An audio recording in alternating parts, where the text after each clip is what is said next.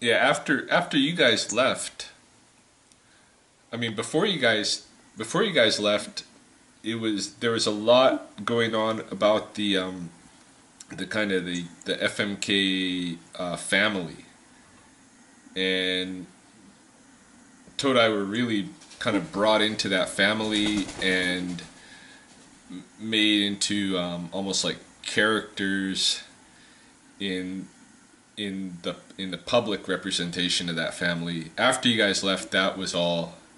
It was time to get rid of all of that, right? And that, Yeah. in a way, that kind of, um,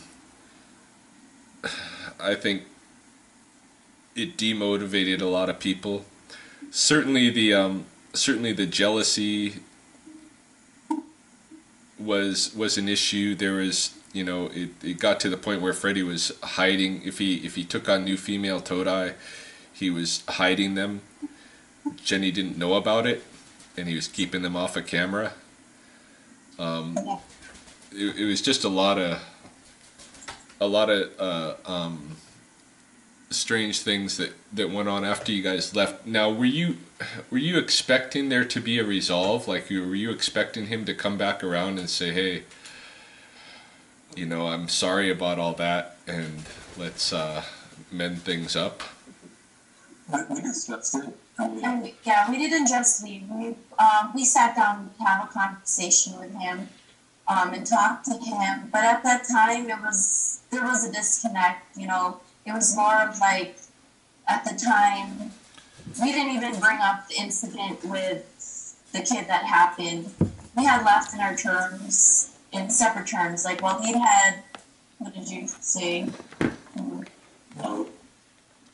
I mean, we just kind of parted ways. I, I don't quite remember the conversation about what you said. we didn't we didn't reiterate what had happened. It was just kind of like we were already growing apart. At like- that point, it was Yeah. just it was it was just like I think for me point. that summer I was already kind of distant. What had happened, having had my friends left. Um, I mean, I, it, I really wanted to quit. I guess a little while before. yeah, I had been wanting times. to leave. And I, I convinced her to. I convinced her to, you know, because I was still committed. But when I saw that situation and looked at it from an outside perspective, I'm like, I can't do this anymore. I can't make any more excuses about why this is good for me. I can find something else. Um, so after that, we just decided, after we parted ways, to look for another school. You know, and And Freddie, you know, I don't, I don't expect an apology. His apology was that he was sorry. I saw that side of him, and you know what? I, wasn't- I I don't think he understood why I left. I think for in a way, he For him, thought, he understood Waleed left because I left, but no, that was not the case. You know, there came a point when that week when we really thought about it, and we were actually consider. Derek had offered at that time to train us, Yeah, I remember that now. Now that, now that you mention it. that, that was the compromise. and that was more so Waleed because at that time I was already out the door. So that was his um, kind of like negotiation. Okay, I won't train with Freddie, but I'll train with Derek. Yeah. Right. But at the same time, we saw our money was still would be going to the school, and we would still be supporting that situation and what had happened. And I don't know. I, I, at some point, it was just like I don't. I don't know. I, kind of took a step back and thought about life without FMK because I think for me the reason why it was so hard to leave was because FMK became an identity. I mean, I had a why. I had a persona. You know why. You know, I had this this you know videos and all this time and effort put into it. You know, to kind of commit in my mind that I was going to see this thing through. I don't like quitting, you know, and I think that was a big thing for Freddie was out of all the people that left, you know, he always said, you know, why you're like you, you commit to this, you know, you're you're always here, you know, no matter you know what, what is it about it, you know, and he, I think for him there was the comfort in me being there and staying committed to it all, you know, and I think as soon, uh, when we left, it was like nothing was safe. There was no, you know, no. If I could leave, then anyone can leave. Right. You know, if we could leave, anyone can leave because, yeah, I mean, we've been through a lot together. We saw people come and go, but in his mind, it was like why is here. You know, he's he's committed. You know, and um, we were very close. And again, that's what made it hard. It was just, you know, I saw him in a way like a family member. You know, we were kind of walking away from a brother. You know, and, and saying, you know, I can't, I can't do this. You know, right. That was hard, but I still wish him well, and I still to this day. I mean, no matter all these videos out there and all this negativity, I know that that's really, that's not. He's not trying to create chaos. He's just expressing himself, and I still wish this business, you know, good fortune because I know that his kids depend on him. You know? Yeah. So. Um. Yeah, the whole the whole thing with Derek reaching out and trying to bring some kind of um, amicable resolve to this, where you guys weren't leaving and that kind of a thing. I mean, I, I've, I'm seeing Derek doing the same thing with me today. um, That's a lot of respect for Freddie. I just don't think he wants to see a big feud, a big, you know. He, he just doesn't want to hurt the business. I think that's his goal. Is he he's the same way as, as me and Aileen. Like he thinks, you know, if he hurt, the, you know, he doesn't want it to hurt the kids. I guess I don't know. Right. In terms of, Yeah, and for the record, one of the questions we never called the city. yeah, Like, do can. I just say that because i- if we really wanted to, the city would have maybe come like three months after because they're slow. But no, I remember that the week that had happened, Freddie had called us, each of us, asking Concerned, if we you did. know. And I was like, uh, at first I thought he was calling to apologize, but no, it was calling to see if we had called the city, and that was news to me. And I told him no. I was literally like, "Do you want to check my call logs? Because I don't have time for that right now. Nor do I even know how to report that or what I would really report you for? Yeah, I, I, I think that I mean honestly, there we have, It's just karma. That's Right. really what it was because the day after, that's what happened. he, he, he did have another jealous um, student that was very big on having a lot of attention and I think you know he suspected he might have also done it as well because he was he was kind of I don't know he was just very he needed to be at the center of attention he got jealous of other students who were progressing faster than him it got to a point where Freddie had to give him personal training and uh, I think when Freddie changed the price on him or something, he got really pissed off and left. And um, so that could have been the person that did it. But Yeah, that was the suspicion at the time I had heard too. from my from my perspective, like you have to understand, or he, uh, Freddie's, Freddie's probably gonna watch this, so Freddie understand is, um, you know, I everything I do. I mean, even this video, I'm trying to do my best to be objective, to not paint Freddie in a negative light. I'm just being giving the facts, and I'm I'm not saying he's a bad teacher because if you train with him, you're gonna get fit and you're gonna learn self defense techniques. But at the same time, we had issues when I, when we were there.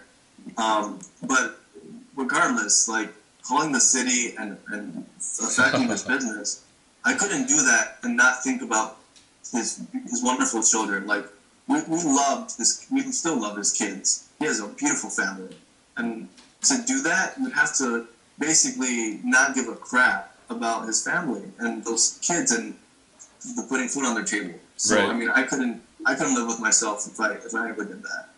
So was that was a, I mean from the sounds of it, it's a big factor. I mean to me, to me it was to me it was um, in terms of like the tuition that I was paying and that kind of thing.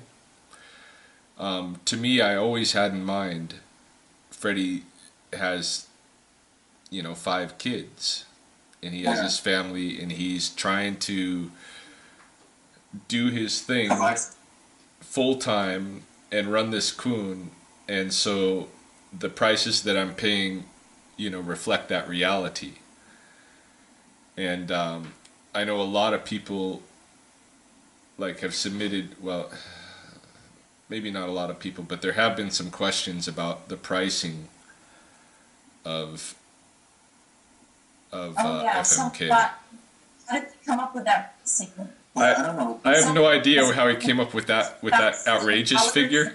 We're not paying thousands of dollars to train a month, so I'm sorry, but we were getting our money's worth, and if that was the case, no, his prices were very affordable.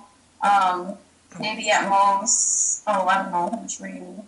He just had different pricing for It depends many martial arts, for how long you've been training, for going. if you're doing fitness versus self defense versus the actual kung fu. So he just had different tiered pricing uh, at the time before the situation. He wasn't trying to rip people off. It was just more like if they're willing to pay, they'll pay. You know, they. I don't know. It, it wasn't. He wasn't a rip off um, or trying to cheat people because he gave people what they asked for, essentially. You know. Yeah, he was very, he was willing, I guess, to bargain price for you to help you get fit. I mean, it affordable. So Yeah. like, to, I guess his prices would range from like twenty an hour, maybe at the least, Yeah. And consider that you know you got like an hour of personal training. or maybe thirty-five at the most. he had a lot. He had a lot of weights there, and he would like he would do fitness stuff. You know, where he would lift weights, and I mean, I was probably, you know, I, I still keep up, up with my fitness, but I mean, before my hernia surgery and me leaving, like, I I think I was probably stronger back then because I, I did so much more than I did now. I've slowed down a lot because of my physical limitations, but um, you know, I think there was value in that. Right. Charging. Right. Yeah, I mean, I always saw Freddie as pretty, um, pretty reasonable uh, when it came to uh, the money side of things. I, he he never even asked me um, to pay any certain amount. I always just contributed what I thought was uh, appropriate, and what I thought was appropriate was hundred dollars a month. Um, but that was always in my mind. It was taking into consideration what he's trying to do and the circumstances and that kind of a thing. You know that he's that he does have this family he needs to support, and he's on his own, starting a new business and that kind of a thing. And I expected in the future um, to to build up both Freddie's YouTube channel and my own to the point where you know the cost would be less expensive for me, um, the tuition and that kind of a thing. But um, but I never found him unreasonable. In fact, I see even today, you know, he has um, affiliates online that never pay him anything, and it still get some of his time and some of his training and that kind of a thing, or pay him very very little. Um, so I don't find him unreasonable that way. Well, I, I want to get into the injury thing. Do you think we could take like a couple of minutes? And um, Sure. all right, so we're rolling now. Okay. Yeah. Um, you were saying? Saying? Oh yeah, I, I was just saying that um, you know, I just want to leave people with the sense that you know the when you see on YouTube and Freddie's expression, like if you walk through his door to train with him, you're gonna if you're looking for basic self defense, for fitness, you know, you're gonna get you know, and he's not this. You know, there's a lot of crazy questions out there about him. Kind of people have this impression that Freddie's like this, I don't know, like this. angry, like not all there person, and he really isn't. It's just his online journal is is a little bit out there, and you know, if you meet in person, he's a little different. But you know, I just want to leave people with. I just want to kind of clear the air a little bit because I think the, the online community has this really, really negative perception of Freddie, and you know, I think that hopefully what we're doing here to yeah, I mean, I, and partially, I mean, it's partially his fault for what he's putting out there. Right. It's his fault, but at the same time, you know, I don't want to leave people with just a sense that you know Freddie is all, for all intents and purposes, what you see on YouTube. You know, because um, so hopefully we're just giving a good account of what happened and what we think. Again, we're not necessarily bashing him because, yeah. Yeah. No, I, under, I understand. I mean, that's the same way I feel. I have been putting out, you know, videos lately that have been um, pretty derogatory toward Freddie. Um, but you know, in, in part that's because I, I think like I don't know. I I feel like he needs to have some of that feedback too because he keeps he keeps throwing away relationships with people that are really um, sincerely like invested in trying to help him build FMK and like I, I don't want to have certainly our discussion be trash talking. I think the way that we've been going through this this evening or this morning has um, has been very fair, and I hope that Freddie will be able to you know hear this discussion and maybe that it will help him in the future um, in his relationships with other Todai and in his